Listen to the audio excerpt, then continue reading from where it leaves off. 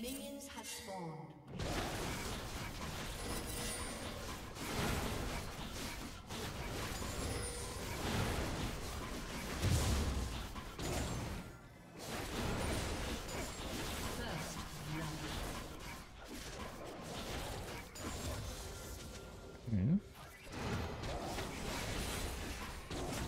Lo de que la RBL es una locura, ¿eh? también te digo.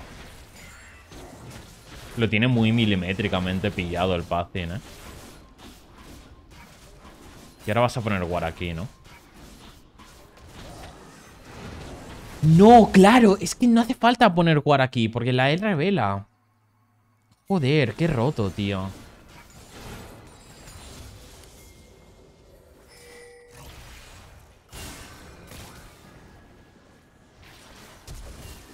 Y hace flash.